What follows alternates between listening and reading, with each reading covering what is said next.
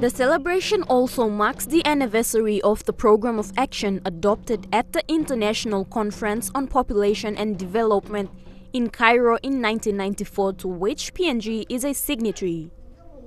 It also marks the 50th anniversary of the United Nations Population Fund.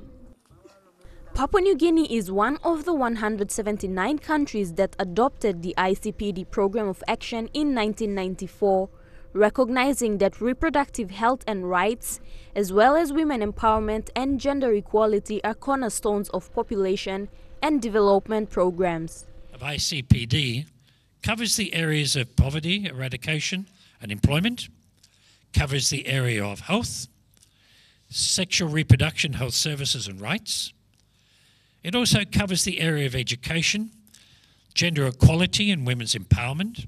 In order for world population programs to progress, it is vital to advance gender equality, eliminate violence against women, and ensure women are free to manage their fertility without fear or coercion.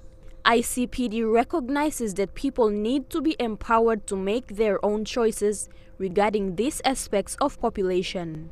On the World Population Day today, I call on all of us, on government, civil society, communities, and people from all sectors and walks of life to be bold and encourage us to do what is right for women and girls around the world.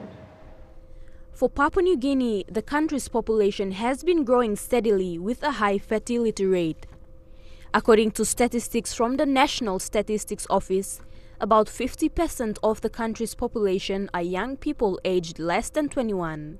The theme of the world population is fitting for the time as the country's population growth is accelerating and exceeding the economic growth.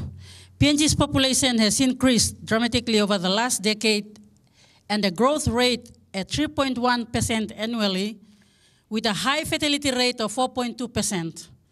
Patricia Chiamo, National EMTV News.